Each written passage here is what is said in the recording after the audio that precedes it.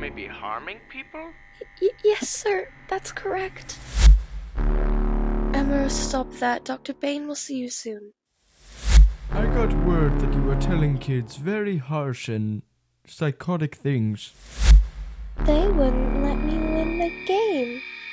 So I told them what I do when I don't win.